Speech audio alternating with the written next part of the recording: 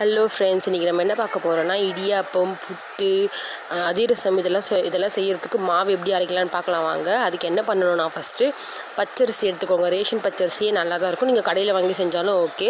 Ration பச்சரிசி எடுத்து நல்லா வா நல்லா க்ளீன் பண்ணிவிட்டு அதில் வந்து ஒரு அஞ்சு படி எடுத்துக்கோங்க. நாங்கள் வந்து அஞ்சு படி எடுத்துக்கிட்டு உங்களுக்கு எவ்வளோ தேவையோ அவ்வளோ எடுத்துக்கோங்க. எடுத்துகிட்டு அதை நல்லா ஊற வச்சிடணும் தண்ணியில். நல்லா ஃபஸ்ட்டு வாஷ் பண்ணணும். ஒரு நாலுலேருந்து அஞ்சு வாட்டி வாஷ் பண்ணிங்கன்னா அதில் இருக்க அழுக்கெல்லாம் வந்துடும் ஒயிட் ஆகிடும் அரிசி.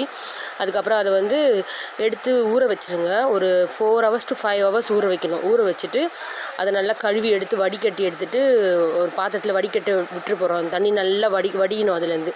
தண்ணி வடிஞ்சதுக்கப்புறமா அதை எடுத்து ஒரு சின்ன பேக் மாதிரி அதில் கொட்டி பேக்கோ இல்லை எதுனா நம்ம வீட் ரேஷனை சில் ரேஷனில் கொடுத்தாங்கல்ல வேஷ்டி இருக்கும் அதில் எல்லாம் கட்டி கொட்டிட்டு கட்டி தொங்க விட்டுடுங்க. அந்த தண்ணியெல்லாம் சொட்டி சொட்டி எல்லாம் ட்ரை ஆகிடும் ட்ரை ஆனதுக்கப்புறமா அதை எடுத்து ஒரு பெரிய ஷால் விரித்து போட்டு அந்த ஷாலில் போட்டு நல்லா ஆற வச்சுருங்க.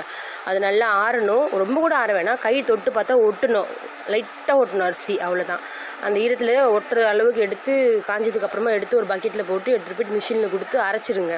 மிஷினில் கொடுத்து அரைச்சி எடுத்துகிட்டு வந்துடுங்க அரைச்சதுக்கப்புறம் இதுக்கு இது மாதிரி இருக்கும் அரிசி. சொல்லுங்கள் புட்டுக்கு இடியாப்பத்துக்கு அரைக்கணும் அப்படின்னு சொன்னிங்கன்னா அவங்க அவங்க அரைச்சி கொடுப்பாங்க. அதுக்கப்புறமா அதை வந்து வறுத்துக்கணும். இந்த அரிசி நல்லா வறுத்து கொஞ்சம் கொஞ்சமாக எடுத்து போட்டு வறுத்துக்கோங்க. நல்லா ஸ்மெல் வரும் அது வறுக்கும் போது வறுக்க வறுக்க வந்து நல்லா அந்த வாசனை சூப்பராக வரும் அந்த அரிசியோட ஸ்மெல்லு அந்த அரிசியோட ஸ்மெல் நல்லா வர வர வரும்போது தான் நீங்கள் வந்து ஓகே இதுக்கு இதுக்கப்புறம் வறுக்க வேணாம். நம்மளுக்கு ஒரு மாதிரி அந்த அந்த அரிசி அந்த மாவு வந்து சாஃப்டாகிடும் நம்ம அது வறுக்க வறுக்க சாஃப்டாகிடும் அந்த மாவு. நல்லா தொட்டு பார்த்திங்கன்னா உங்களுக்கே தெரியும் அது நல்லா சாஃப்டாக இருக்கும். அந்த டைமில் என்ன பண்ணுங்கள் அந்த டைமில் என்ன பண்ணுங்கள் அதை நல்லா ஆற வச்சுட்டு எடுத்து வச்சுக்கோங்க. ஆற வச்சு எடுத்து வச்சு இது வந்து நம்ம ஒன் வீக் வந்து டூ வீக்ஸ் வரை வச்சுக்கலாம். ஒன்றும் ஆகாது. தண்ணி படக்கூடாது.